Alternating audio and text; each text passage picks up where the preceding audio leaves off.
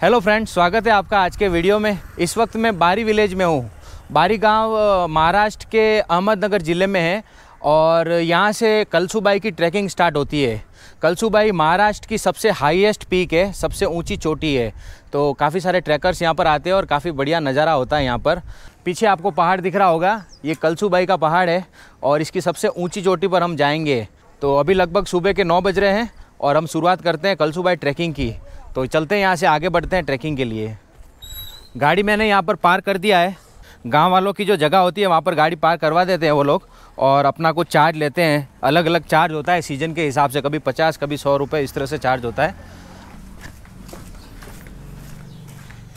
ये हमारे गाइड है, इनका नाम है खंडू भाऊ। खंडू भाव हाय कर दो हमारी ऑडियंस को। हाय, हाय। तो खंडू भाऊ हमें कलसूबाई की ट्रैक करवाएँगे आज। इनको मैंने हायर किया है और छः सौ रुपये मैं इनको पे करूँगा। लगभग सात घंटे लगेंगे ना ऊपर जाके आने में? सात सात सात सात लगेगा। हाँ सात घंटे का समय लगेगा ऊपर जाके नीचे आने में ऐसा बता रहे हैं। चलिए। चलिए। तो काफ़ी बढ़िया छोटा सा गाँव है एकदम नेचुरल गाँव है ये।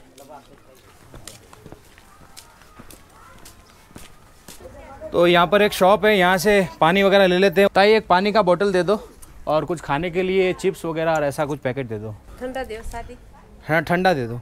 मौसी कांदा पोहा मिलेगा ना? मिलेगा। तो दो प्लेट बना दो ना जल्दी से है? हाँ। क्योंकि ट्रैक छः से सात घंटे का है वैसे तो ऊपर खाने को मिलता है लेकिन मैगी वगैरह मिलता है तो यहाँ पर अपने प्योर महाराष्ट्रियन कांदा पोहा खाएँगे और उसके बाद में आगे बढ़ते हैं यहाँ से। शुरू में ही अपना दोस्त आ गया देखो। बिस्किट खाएगा? हाँ? एक पार्ले बिस्किट दे दो ना पार्ले। इसको चोट लग गई है इधर में। तो इसको हल्दी लगाया है।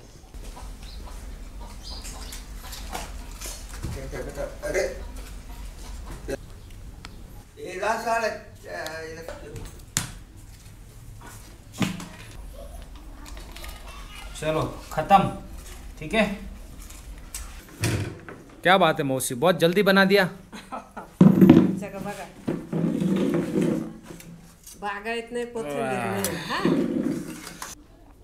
एकदम गरम गरम है देखो भाप निकल रहा है. फ्रेश पोहा. हम्म, बढ़िया. महाराष्ट्र में गाँव का पोहा एकदम बढ़िया होता है. हाँ? चहा. हाँ चहा पाहिजे. बस बस. चाय लेके आए हो? क्या नाम है आपका? सार्थक। सार्थक?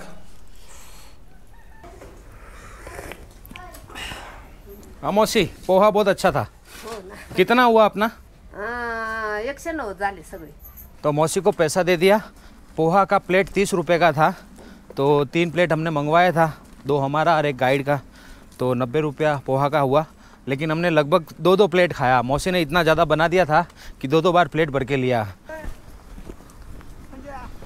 मुझे तो यहीं से नज़ारे इतने बढ़िया लग रहे हैं क्या बताऊँ।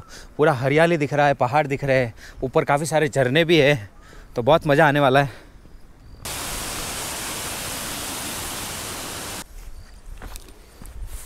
अगले साल भी इतना पानी आया था अच्छा। इतना लाइन भरा लोगों को लाइन लगी लगी थी। अच्छा। क्या है इधर रस्सी विसी डाला।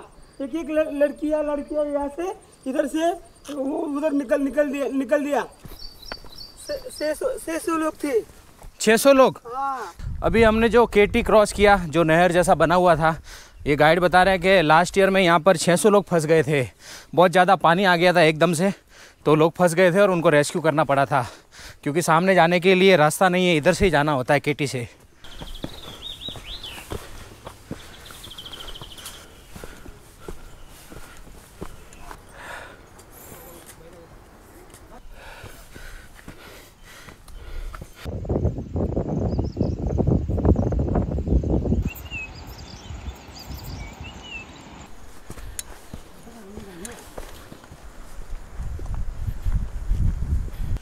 तो बड़ा सा वड़ का पेड़ है देखो आप। और इस तरफ़ में एक मंदिर है। ये कलसूबाई का, माची का मंदिर है, ऐसा बताते हैं। जो लोग ऊपर तक नहीं जा सकते दर्शन करने, वो यहाँ पर दर्शन करके और फिर बाद में नीचे जाते हैं।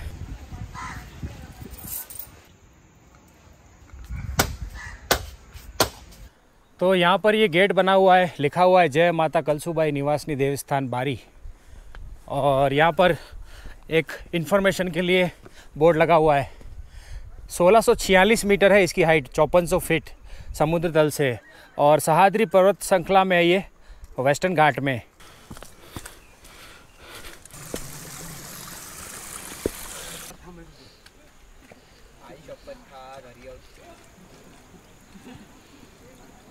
लगभग थर्टी परसेंट के आसपास ट्रैक कंप्लीट हो गया हमारा।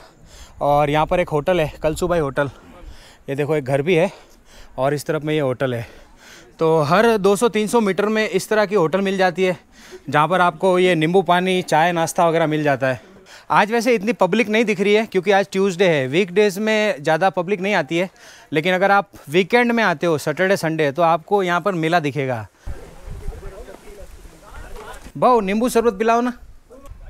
कितने का है वैसे नींबू शरबत? बीस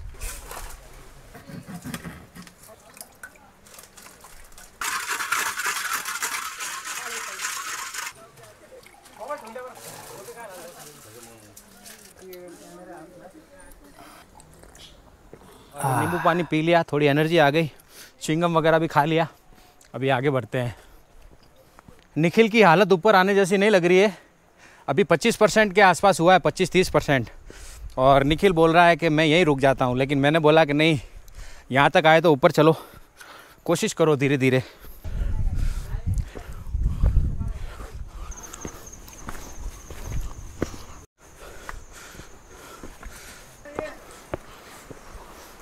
तो यहाँ से अभी वाटरफॉल दिख रहे हैं बहुत अच्छे।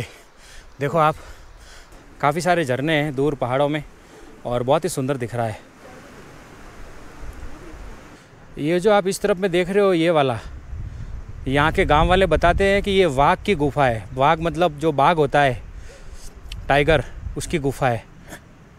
अब इसमें कितना सच है वो तो नहीं पता, लेकिन गुफा ज़रूर दिख रही है मुझे।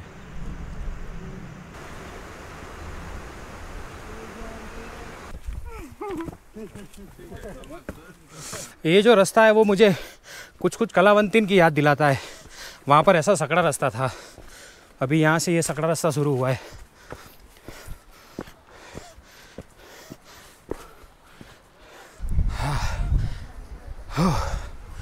हर मुश्किल चढ़ाई के बाद इस तरह का एक स्टॉप आता है जहाँ पर ये सारे स्टॉल वगैरह है। कहाँ से हो आप लोग? शिरडी। वेरी गुड ऊपर गए या नीचे जा रहे हो? जाके आ गए। ये भी बहुत बढ़िया जगह है, देखो आप। एकदम खुली खुली जगह है। तो जब ऐसी खुली जगह आती है तो बहुत अच्छा लगता है।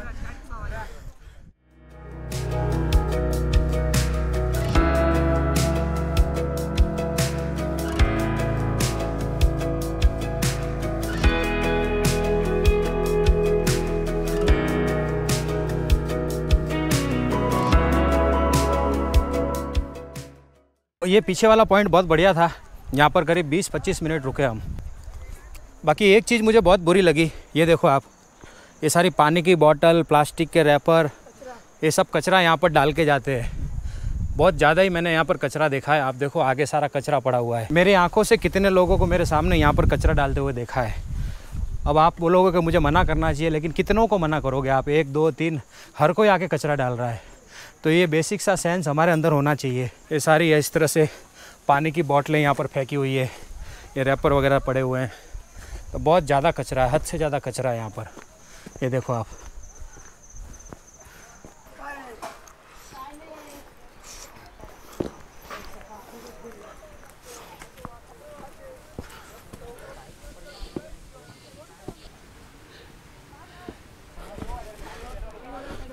अभी फिर से सीढ़ी आ गई है।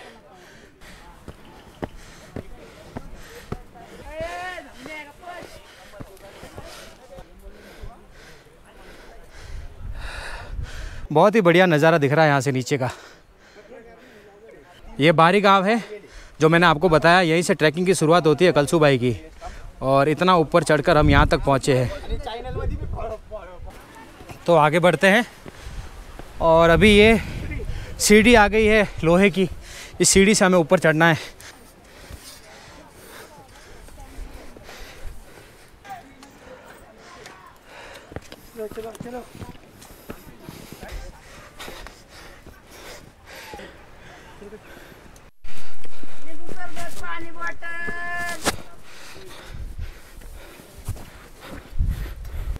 फिर से ये सीढ़ी है और इसी तरह की सीढ़ी आगे तक है, देखो आप ऊपर तक।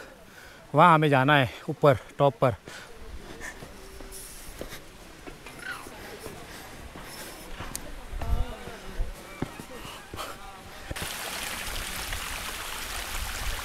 तो पहले पहले तो बहुत खुश हुआ मैं। मैंने सोचा सिंपल ट्रैक है, हो जाएगा आराम से। लेकिन आधे के बाद में जो ट्रैक स्टार्ट होता है, जो 40 परसेंट जो है, वो हार्ड है। सीढ़ियों से हमें चढ़ना होता है और ये काफ़ी थकाने वाला है, क्योंकि खड़ी चढ़ाई है।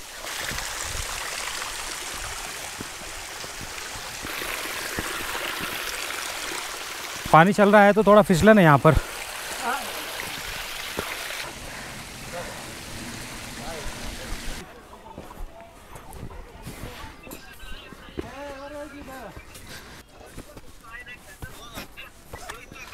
निखिल एकदम धीरे धीरे आ रहा है। थक गया काफ़ी। यहाँ फिर से सीढ़ी आ गई है, देखो आप। और एकदम खड़ी सीढ़ी है।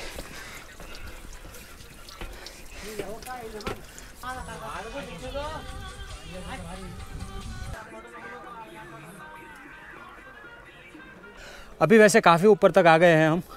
करीब 20 परसेंट का रास्ता बाकी है। जैसे जैसे हम ऊपर की तरफ़ जा रहे हैं, यहाँ पर कोहरा और धुंध बढ़ती जा रही है।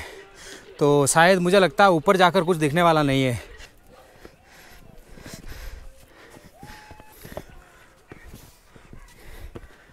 हमें यहाँ से ऊपर जाना है, लेकिन यहाँ पर ये एक व्यू पॉइंट जैसा बना हुआ है। नीचे की जो खाई है वो दिखती है तो देखते हैं ज़रा।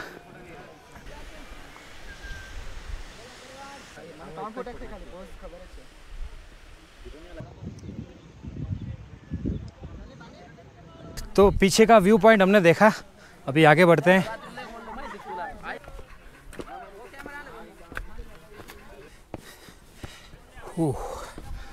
अभी यहाँ से हमें बंदर दिखे हैं। हाँ बंदर भाई साहब है। नहीं है, खाने का नहीं है हाँ ठीक है। तो अभी थोड़ा अंधेरा हो गया है और बारिश आ सकती है, ऐसा लग रहा है। तो जल्दी से चलते हैं ऊपर।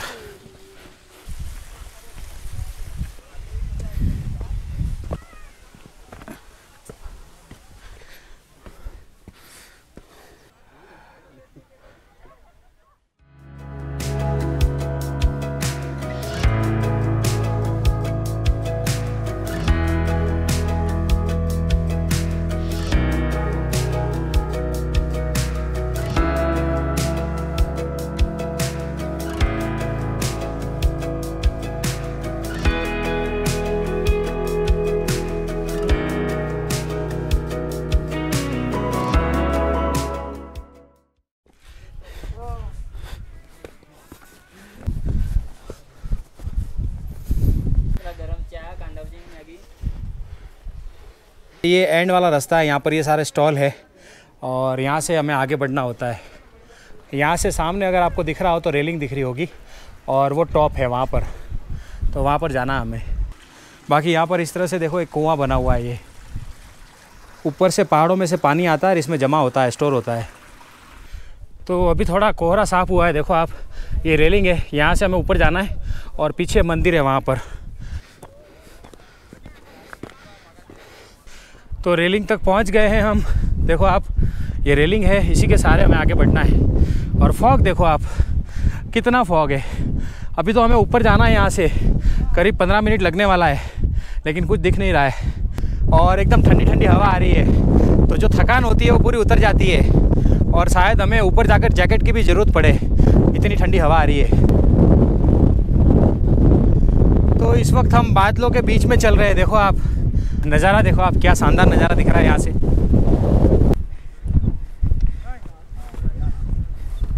पीछे आपको सीढ़ी दिख रही होगी। यहाँ से हमें ऊपर जाना है, लेकिन यहाँ से नीचे का नज़ारा काफ़ी बढ़िया दिख रहा है। तो देखो आप, कितना शानदार दिखता है, नीचे बादल है और हवा बहुत तेज़ है। बहुत ही ज़्यादा हवा है, मैं खुद हिल रहा हूँ खड़ा खड़ा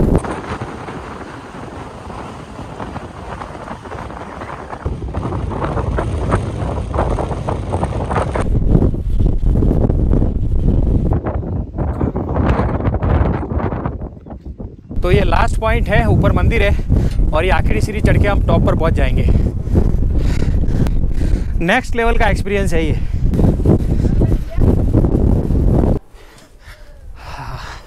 अभी थोड़ा कोहरा कम हुआ है।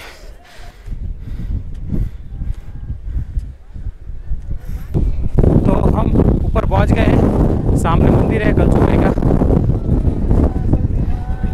तो तेज़ हवा के साथ साथ बारिश भी आ रही है। और बहुत ठंडी हवा है यहाँ पर। ये कलसुबाई का प्रसाद है क्या? क्या होता है प्रसाद में? हे आहे का गावच्या अच्छा मावे का पेड़ा होता है।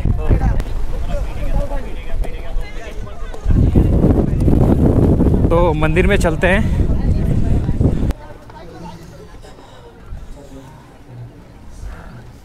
ये कलसुबाई मंदिर है हमने दर्शन किए मैंने आपको बताया। तो इसके पीछे भी एक कहानी है। कहते हैं कि कलसुबाई नाम की एक लड़की थी जो कि जंगल में रहती थी। ये जो कलसुबाई का जो अभी पहाड़ है, इसी जंगल में रहती थी। और इसके पास में एक गाँव है, जिसका नाम है इंदौरे। तो उस गाँव से एक गाँव वाले पहाड़ी में गए थे एक बार तो उनको कलसुबाई वहाँ पर मिली थी। और कहते हैं कि कलसुबाई बहुत चमत्कारी लड़की थी। उनको माताजी मानते थे सब। तो कलसुबाई ने उनसे कहा कि मैं आपके साथ में आना चाहती हूँ तो क्या आप मुझे साथ में लेके जाएँगे? तो फिर उन्होंने कहा कि चलिए, हमारे घर में आप रहिए। कलसुबाई फिर उनके साथ में चली गए इंदौरे गाँव में वहाँ पर रहने लगे। उन्होंने वहाँ पर एक शर्त रखी थी कि आप मुझे जो जूठे बर्तन होते वो उठाने के लिए नहीं बोलेंगे और बर्तन धोने के लिए नहीं बोलेंगे। बाकी सब मैं काम आपके यहाँ करूँगी।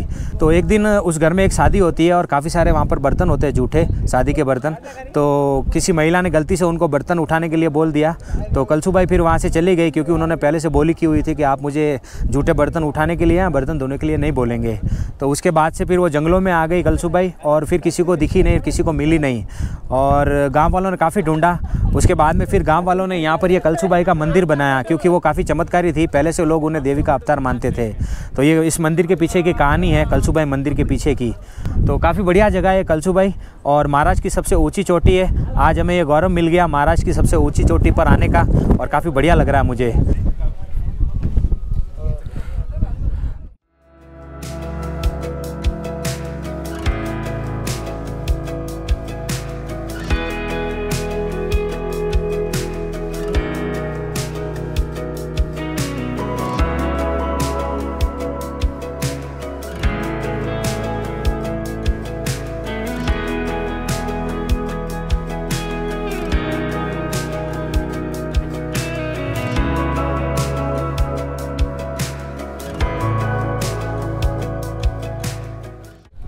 मैं चाहता था यहाँ पर ड्रोन उड़ाऊँ और ड्रोन से आपको व्यू दिखाऊँ, लेकिन मौसम बहुत ख़राब है और हवा बहुत तेज़ है। आप देखो कितनी तेज़ हवा है।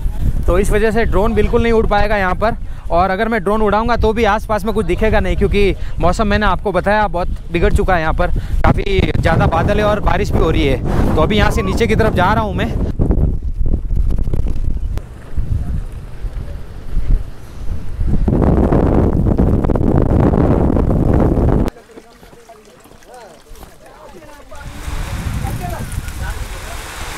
बारिश आ रही है ज़ोर वाली। देखो आप काफ़ी तेज़ बारिश आ रही है।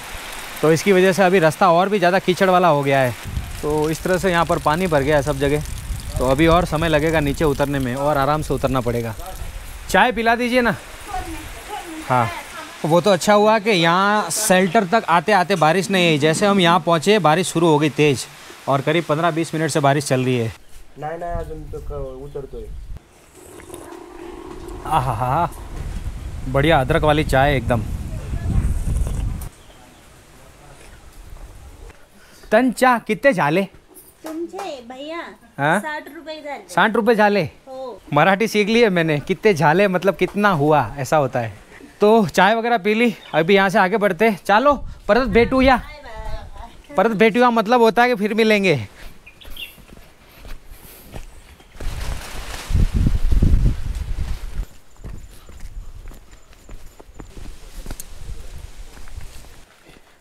ये देखो ये सब स्टॉल वाले हैं इस तरह से सामान लेके जाते हैं ऊपर अपने होटल पर बेचने के लिए। और जब हम वहाँ से कुछ खरीदते हैं पानी वगैरह कुछ तो दस बीस रुपये महँगा होता तो हम चिल्लाते हैं पानी महँगा दे रहे हैं। इतनी मजदूरी अगर हम करेंगे ना तो बीस रुपये की पानी की बोतल दो सौ रुपये से कम नहीं देंगे। और पहली बात तो कर ही नहीं पाएँगे। वो तो बहुत दूर की बात है। वो लड़का तो करीब मेरे ख्याल से चौदह पंद्रह साल का ही है और एकदम पतला सा लड़का है। ये ऊपर तक जाएँगे वहाँ आगे तक। तो कभी भी ट्रैकिंग के लिए अगर आते हो और अगर पानी की बोतल बीस रुपए की चालीस में मिल रही है ऊपर तो ले लेने का, हो सके तो दस रुपये और दे देने का। क्योंकि है ना, बहुत मुश्किल से ये लोग सामान चढ़ाते हैं ऊपर, कोई सुविधा नहीं है। चलो भाऊ।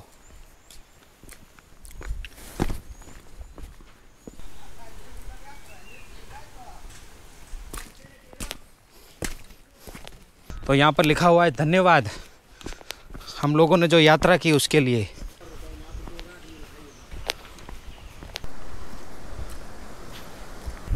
तो यहाँ से घूमते हुए इस तरफ़ से ऐसा करके गए थे, राउंड मार के। लेकिन अभी जब हम वापस जा रहे हैं तो हम शॉर्टकट लेंगे, हम सीधा यहाँ से इस तरफ़ से होते हुए सीधा आगे बढ़ जाएँगे। जब गए तब एक आया था, अब नीचे आए तब भी एक और आ गया। आजा, तू भी आजा, तुझे बिस्किट खिलाते आजा। रुक। अरे, रुक रुक रुक भाई।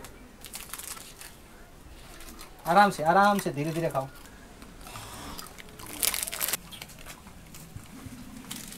चलो मौसी।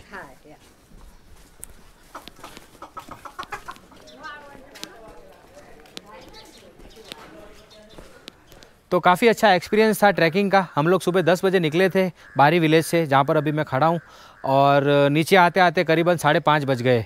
तो थोड़ा समय ज़्यादा लग गया क्योंकि बारिश का समय है तो कीचड़ काफ़ी था। और निखिल पहली बार आया था तो उसको थोड़ी दिक्कत हो रही थी तो इस वजह से थोड़ा टाइम लग गया। तो निखिल से पूछते हैं उसको कैसा लगा? सही सही बताना एकदम जो भी हो फ़र्स्ट बार ट्रैकिंग की और हालत खराब हो गई लेकिन मज़ा बहुत आया। मज़ा बहुत आया। और कितनी बार ऐसा बोला कि अभी मुझे ऊपर तक नहीं आना मैं इधर ही बैठूँगा। चार बार इसने बोला कि बस आप जाओ मैं इससे आगे नहीं आ सकता। फिर थोड़ा और आगे हिम्मत दिया फिर बोले आप जाओ मैं नहीं आ सकता। एटलीस्ट 80 परसेंट कवर हो गया। उसके बाद भी इसने बोला कि आप जाओ, मैं नहीं आ सकता। तो धक्का दे दे के पुश कर कर कर, करके इसको हम लेके गए ऊपर और फाइनली ये भी ऊपर तक आया। तो ये आज का हमारा एक्सपीरियंस था कलसू भाई ट्रैक का जो हमने आपको बताया। और अभी काफ़ी थक गया हूँ मैं तो मैं यहाँ पर आराम करूँगा। मैंने यहाँ पर रूम लिया है और आठ सौ रुपये में मुझे रूम पड़ा है। क्योंकि ये गाँव है तो यहाँ पर सुविधा नहीं मिलती है। सिंपल से रूम मिलते हैं गाँव वालों के, जिसमें एक डबल बेड होता है और एक पंखा होता है। तो सिंपल सा रूम है और डेढ़ सौ रुपया एक जने का खाने का लगता है। तो करीब बारह सौ रुपये में दो लोगों का रहना और खाना हो जाता है। तो मुझे सिर्फ़ रात निकालनी है, सुबह में फिर यहाँ से मुझे अर्ली मॉर्निंग निकलना है आगे के लिए। और कलसू भाई के बारे में मैंने आपको बता दिया कलसू भाई महाराष्ट्र की सबसे ऊँची चोटी है और कलसू भाई को महाराष्ट्र का माउंट एवरेस्ट भी कहा जाता है और ये महाराष्ट्र के अहमदनगर ज़िले में है। तो ये था आज का वीडियो। वीडियो आपको कैसा लगा कमेंट करके बताना और वीडियो पसंद हो तो इसे लाइक करना, शेयर करना और नए हो तो चैनल को सब्सक्राइब कर देना। तो मिलूँगा आपसे अगले वीडियो में, तब तक के लिए bye bye Shiv take care अपना और अपनों का खास ध्यान रखना। वीडियो पूरा देखने के लिए आपका शुक्रिया। तुम्हारा खूब खूब आभार। आप जो